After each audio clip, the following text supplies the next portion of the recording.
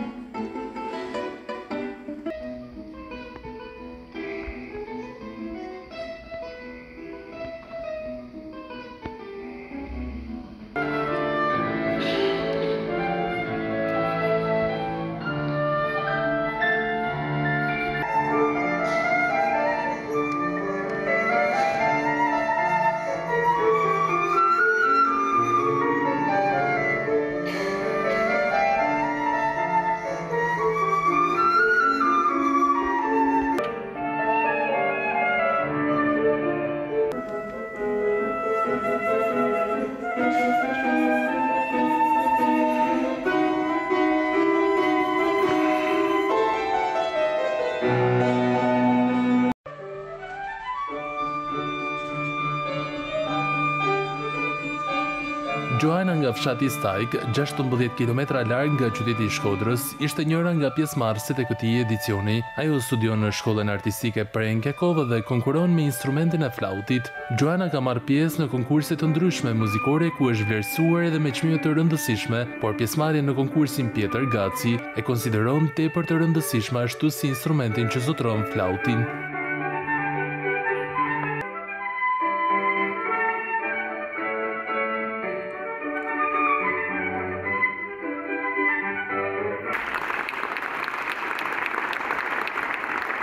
Unë jam Xhoana Dajani dhe vij nga Stajka. Jam për, siç e shihni, për instrumentin e flautit. Dhe kena ardh me dhan një konkurs që nuk është hera e parë që po e japim faktikisht, po prapë se prapë emocionet bëjnë të veten. Si ndihesh në konkursin ndërkombëtar të jesh? Është një gjë shumë e mirë faktikisht, të jep mundësinë që me shfaq talentit e me u, me u mësu me skenën, me përcjell edhe emocionet e tana gjanat, kështu që për mua shumë gjë e mirë, edhe me marr pjesë. Sot kam pjesë e Mozartit, të Bahut dhe pjesë shqiptare. Të vështira? Niveli i vështirësisë normal që rritet përherë e më shumë, por që i kena nën kontroll. Çfarë është flauti për ty? Për mu me ta mbledh vetëm me një fjalë për mu asht gjithçka. Kështu që edhe për si vegël që është shumë delikate, shumë e bukur, shumë tërheqëse, po për mu është jeta jeme. Si ka lindur dashuria për flautin dhe kur ka lindur? Ka lindur para 6 vitesh, faktikisht, që në klasë 6, është një, ka fillu rrit me kalimin e kohës, nuk ka se ka rritja dashuria menjëherë për te. Kështu që është rritet e rritet për çdo ditë ma shumë. Cila është pjesa më e dashur për ty në flaut dhe sa orë ushtrohesh me të? Orët janë shumë, janë të mëdha për me dasht me arrit aty ku duhet edhe ku du. Pjesa, po them autori që më pëlqen më shumë për mua i flautit është Mozarti. Mozarti, pse po, Mozarti? Sepse ka shumë teknikë në flaut, ka e shpreh flautin në të gjitha dimensionet e saj. Ku do të shkosh në të ardhmen? Çfarë synon? Synimet janë për ma larg, normal, po varet ka mundësitë që ofron vendi, po me, me forcat tona do mundohem që me arrit aty ku du. Valbora Bushati është mësuesja e përkushtuar e Xhoanës. Në sytë e saj ka krenari, teksa flet rreth cilësive të saj. Është një nxënëse shumë e veçantë, sepse ka një teknikë Një korrektesë edhe muzikalitet të mrekullueshëm, një elegancë, domethënë e kam të veçantë gjithë këto vite prej nxënësve tjerë. Uroj që ta fitojë këtë çmim edhe special se gjithmonë ka marrë çmime të para. I uroj suksese se tashi ka dhe diplomën. Pas konkursit ka diplomën, pastaj konkuron Akademinë e Arteve. Në këtë edicion morën pjesë rreth dyqind konkurrentë nga Shqipëria dhe shtete të tjera. Esmeralda ishte një tjetër konkurrente. Ajo vjen nga Elbasani dhe ka një lidhje të veçantë me violinën të cilën e ka nisur në moshë të vogël dhe sot studion për këtë instrument muzikor në Universitetin e Arteve në Tiranë. Violina dhe dëshira për të shfaqur veten me punën e bërë e solli atë në konkursin Pjetër Gaci në Shkodër. Ndodhem në Shkodër sepse Pjetër Gaci është një konkurs shumë i mirënjohur dhe kemi parë si një mundësi shumë të mirë për të shfaqur veten edhe gjithë punën që kemi bërë. Është hera e parë që merr pjesë në konkursin? Po, është hera ime e parë. Si e pret skenën e teatrit Migjeni? Besoj është hera e parë që performon? Po, po. Kemi pak emocione, duke qenë se dhe është hera e parë dhe në qytetin e Shkodrës, po mendoj se do shkojë mirë. Më fol pak për veten, ku studion? Unë studioj në Tiranë, në Akademinë e Arteve, në vitin e dytë bachelor. Dhe në çfarë instrumenti? Në violinë. Në violinë. Çfarë është violina për ty? Ë, është pak e vështirë për ta përshkruar. Nuk e di në qoftë se njerëzit e kuptojnë, është thjesht një lidhje që bëhet midis artistit dhe instrumentit që luan. Është e vështirë violina sa sa orë ushtrohesh ti vetë me violinën? Në përditshmëri katër orë duhen. Është është shumë e vështirë për teknikën që të zhvillosh teknikën. Cilat janë pjesët më të vështira, ato shqiptare apo të huaja dhe çfarë ushtrohesh kryesisht? Ë zakonisht unë personalisht kam ushtruar pjesë të huaja dhe e kam gjetur pak veten që janë pak më të vështira se pjesët shqiptare. E konsideron të ardhmen tënde në Shqipëri apo diku tjetër në skenat botërore? Për momentin e shikoj në Shqipëri. Në rastin që një event artistik ka shkuar shumë mirë deri në numrin e tij 23, do të thotë që ai është i pjekur si event artistik dhe prandaj ka arritur dhe të kalojë kufijtë e kombëtarit dhe të bëhet një event ndërkombëtar. Patjetër që është shumë i rëndësishëm për gjithë instrumentistët e çdo grup moshe sepse ë Ardhja nëpër këto evente, kompeticione, i rrit shumë artistikisht. Nuk është e thënë që të vlerësohen gjithmonë me çmime, por edhe thjesht pjesëmarrja është tepër e vlerësueshme, kështu që i bën shumë shumë mirë për ta vetë. Nga Prizreni në Shkodër, Irem Krasniqi ishte një nga konkurrentet më të veçanta të edicionit të njëzet e tretë të çmimit Pjetër Gaci. Humbja e shikimit nuk i ka humbur motivin për të marrë më të mirën nga jeta. Kur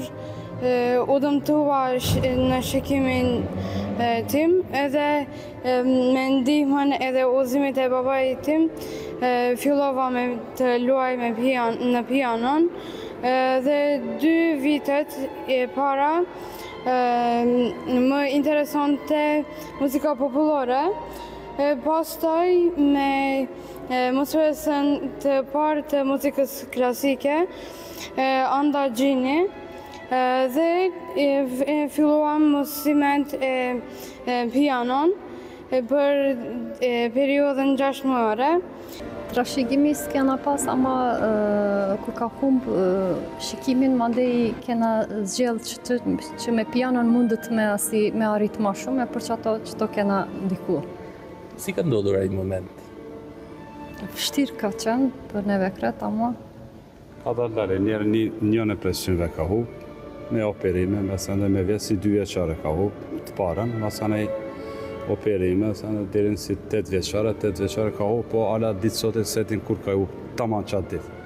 Po ma do mendja, gëzimi për një vajzë artistë është shumë më i madhë dhe ka ngadhënjyer mbi dhimbjen e, po, po themi të asaj kohë. Edhe ajo vetë qështu e pranon, ta Ndoshta është tragjedi, por për mua është edhe një lindje. Edhe një lindje prap jam lind me pianon. Kur kam zgjedh pianon, ndoshta nëse s'kisha hu pamjen, s'kisha pas mundësi m'u njoftu me pianon, ose me muzikën, ose me botën e muzikës me pianon.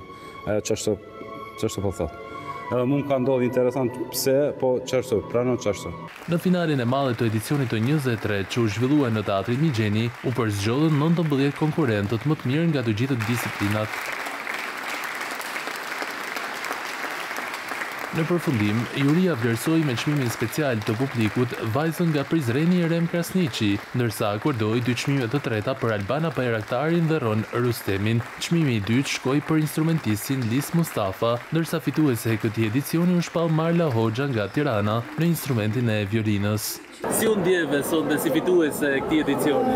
Mendoj se ishte një natë shumë emocionuese dhe nuk e mendoja, domethënë, që do isha fituese, por ia dola. Kujt ia dedikon fitoren? Fitoren kam një falënderim shumë të veçantë për mësuesen time, që ka bërë të pamundurën që Të jem këtu edhe në konkurse më të larta në nivel më të lartë. Emocione të bukura mori nga ky edicion edhe Tamara, bashkëshortja e Pjetër Gacit. Unë dëshiroj që shumë shumë vite të zgjatet. Kjo është një kujtesë e madhe. Atë elitar shoqëri që lulëzon në Shkodër ka Kënaqësi, ka kënaqësi. Vazhdimisht elementi i ri, elementi e shof rritje cilësore. Ky edicion tregoi se talentet e reja nuk shterojnë asnjëherë, shprehen organizatorët. Disi të frikësuar fillimisht se të përballonim fluksin e madh të konkurrentëve që u përfshin këtë edicion. Mendoj që ia dolëm me sukses, bëmë seleksionin e duhur, siç thashë më përpara, u kujdesëm edhe për gjeografinë e natës së fundit, kishim edhe më shumë konkurrentë edhe dy të tjerë nga Mali i Zi që i prisnim të vinin deri në momentet e fundit, por për arsye teknike të zonave të kufirit e të udhëtimeve, nuk mundëm t'i kishim prezent. Megjithatë, Besoj se publikut shkodran i dhamë një mramje të këndshme, një mramje cilësore, një mramje mjaft të spikatur, edhe shpresoj t'i metet në kujtes.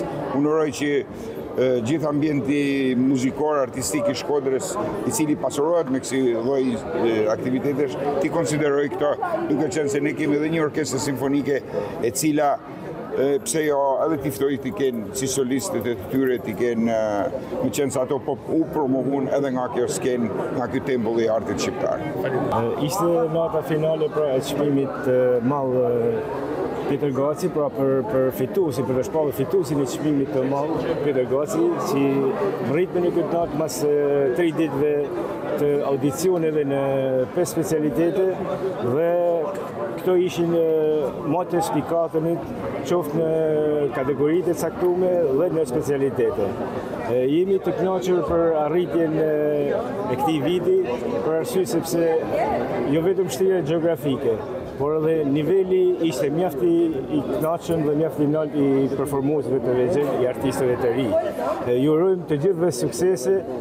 në rrugëtimin e tyne artistik dhe fitoshin sa ma shumë çmime të tjera kombtare dhe ndërkombtare. Konkursi ndërkombëtar Pjetër Gaci realizohet çdo vit falë bashkëpunimit të Bashkisë Shkodër dhe Qendrës Kulturore me të njëjtin emër. Ai u zhvillua në disa institucione kulturore si Teatri Migjeni, Biblioteka Marin Barleti dhe Shkolla Artistike Prenkë Jakova,